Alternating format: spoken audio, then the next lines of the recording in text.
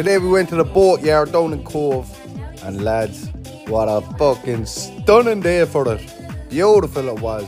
And just look at that fish. Little drizzle of lemon over it, and it was ready to go, boys. A bit of mushy peas, bit of salt and vinegar. You cannot beat it. Down by the waterside. What a setting down there. Beautiful. And that fish was only glorious.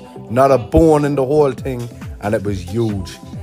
ZT Fish Company in Rosscarbery deliver that fresh to him every single day. So it's as fresh as you get. I wasn't too gone on the burger. The burger was okay, not the best. Um, I wouldn't or- order it again. They can definitely improve that. Uh, Benji had the best day ever.